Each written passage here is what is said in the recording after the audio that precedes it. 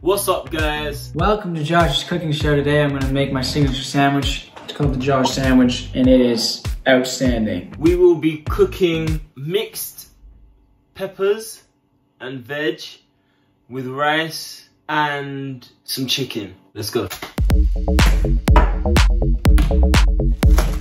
Fun fact, I don't know how to cook anything. So you take your knife, right there, clean through the middle, you got two slices. You wanna get microwave bacon because you don't know how to make real bacon. Now peppers I don't really like to cut up too small because sometimes they get lost in the mix. Is this good still?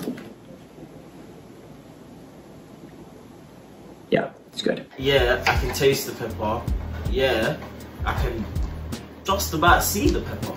But can I feel the pepper? Spread mayonnaise. If you can't feel the pepper, then you've got a mix that doesn't mix. You wanna shred it on the thin one. Oh, ah! Something burning. Thought there's about to be a fire up in this place. Maple Leaf Natural Bacon. Straight out of Canada. Three, two, one. Let's get some green in there. Ooh, yeah.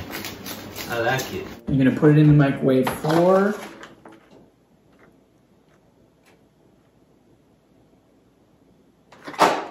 twenty-four seconds. All up in there. Now that the bacon is hot, you're gonna lay that along the cheese. My chicken looks like a mess. The most important part of the sandwich is the pickles.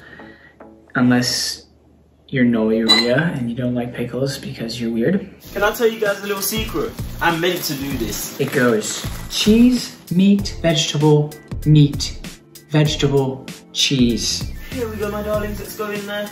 Woo-wee! Whole new world. One or two pieces of lettuce here. This will be plenty. Look at the peppers. Look at the ooh. Look at the colors. Mmm. In there. In there. You two, and your cousin, and your aunt, and your sis. This one, you're not gonna shred because who shreds Havarti? Mmm. Yeah. Oh wow.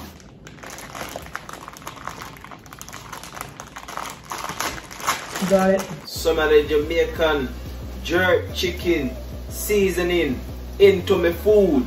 We're gonna put two and cut them up a little bit to make sure they evenly distribute. Oh Lord, it's burning. Oh Lord, it's burning. You plop on the other side and bam.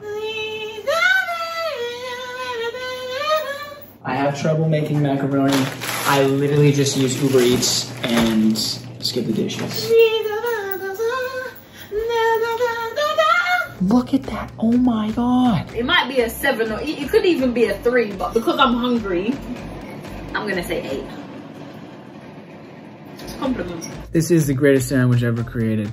Lamar's Mexican pepper rice mixed pepper something. Hope you enjoyed the tutorial and I would love to see your version of my Mexican style peppers with spring onion, red onion, red peppers and chicken meal rice